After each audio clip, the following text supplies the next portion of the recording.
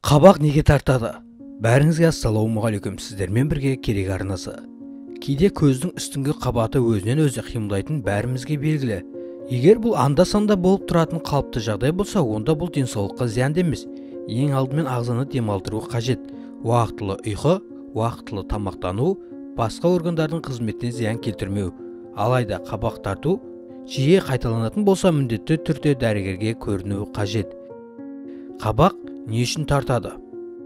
Көздің шаршауы.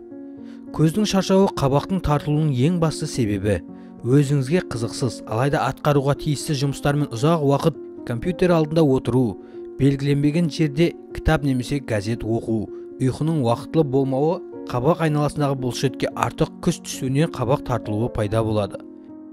Қабақтың тартылуы жүйке жүйесіне шамадан артық күш түсуінен пайда болады.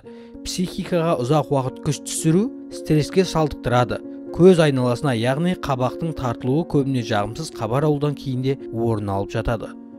Жүйкенің тозуы. Көздің үстін және астыңғы жағы тартса бұған жүйкенің тозуы себеп болуы мүмкін. Бұл жағдайда не істеу қажет? Зақым келтірген не екеніне көз жеткізу қажет.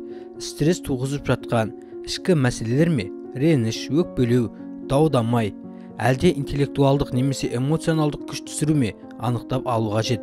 Осыларды анықтап алғаннан кейін қандай шара қолдану керектігі анықталады. Міндетті түрде ағзаны демалдыру үшін тыныштану керек және ағзаға босаңсу қажет.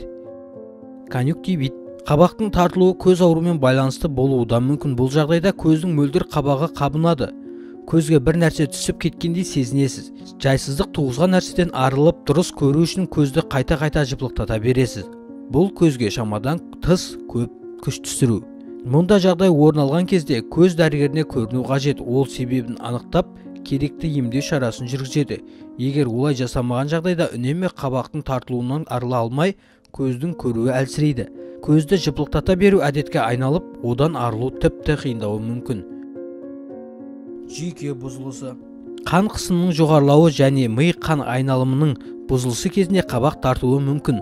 Сондықтан невролог маманға қаралу қажет. Көзді шаршаудан арылту үшін жаттығу.